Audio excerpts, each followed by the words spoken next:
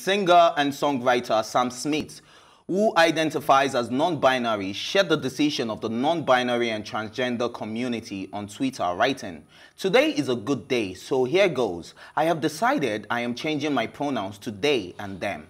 After a lifetime of being at war with my gender, I have decided to embrace myself for who I am, inside and out. In subsequent tweets, the 27-year-old said, they are so excited and privileged to be surrounded by people who support their decisions. I have been very nervous about announcing this because I care too much about what people think, but it. The singer continued, I understand that there will be many mistakes, misgendering, but all I ask is you please, please try. I hope you can see me like I see myself now. Thank you. Smith also addressed being non-binary, explaining that the community at, is at no stage yet to eloquently speak at length about what it means, but they can wait for the day that I am. So for now, I just want to be visible and open, he wrote. He said, but he can't wait for the day that he's able to talk about it. They Stay With Me, the Stay With Me singer also said that they would try their best to explain to those who have questions before concluding the thread by sharing the names of the activists and leaders in the non-binary and transgender community who have helped Smith and given them so much clarity and understanding. Smith's announcement which has already been liked more than 9,000 times, has been met with an outpouring of support, love, and respect for you, Sam, one person wrote. Another said, we love you and we're so proud.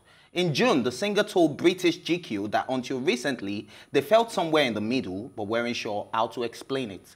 Now, I think um, this is a very safe space for people mm. who really can't tell who they are. Yeah some people you see them and they have this feminine tendency and you kind of believe that oh this person must be gay Mm. But some of them are not even gay. Some of mm. them do not even identify with a particular gender. Mm. So for people who are wondering, what is non-binary? Now, a non-binary person is someone that is just in the middle. Sometimes this person feels his masculinity, mm, and sometimes, is in his feminine... Not exclusively, yeah, exclusively yeah, female, female, and not exclusively male. I would mm. call Lady Gaga someone like that. Mm. yeah, because sometimes she tries to dress like a man. She has a masculine side. I can't remember the award last year that she went for that she wore the um, tuxedo, mm, the very mm, large mm, tuxedo dressing like a man. And she said she wanted to um, let go of her past. So I think Lady Gaga has some form of mask. Well, that's my opinion. Okay. She has not come out to say that I'm non-binary.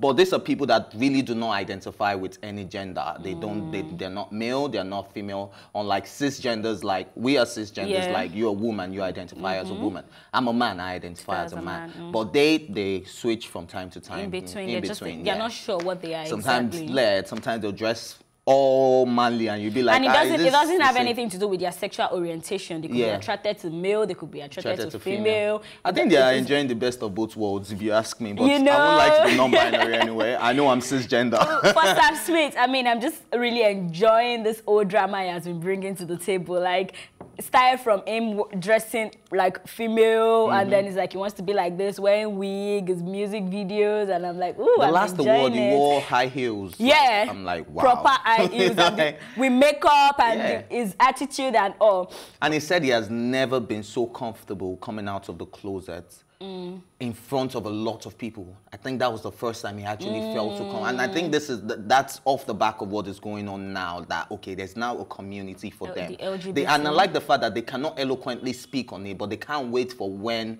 they, they can they would be able and, to and they'll, they'll keep it. they'll keep fighting for it. I mean, for me personally, I think the I battle have... has been won. It's just for it's just encouraging more people that come out of the I don't think their battle has been won because I mean, even in America, UK, wh wherever it is, yes, yeah, they still have homophobia. Like, I mean, a lot of people are really still um, homophobic people, and I don't think the battle, they've won the battle yet, but I'm sure they are getting I think there. it's even in this part of the world that is worse because people hmm. can't stand. Imagine you can't that, even come out Imagine that I'm saying sometimes I wear skirts. You know, sometimes. Let's Bobrisky for uh, as an example now. I mean, every yeah, anytime. yeah, Bobrisky. We can call Bobrisky non-binary. Should I tell you why? Why? When he's going to the police station, he used to dress like right? a man. no, no, I, I, I'm, I'm sorry, but I think Bobrisky is not just that educated to understand all those things. But I think Bobrisky is actually non-binary because sometimes he tries to have this um, female character, yeah. uh, female character. sometimes, sometimes, you get, I mean.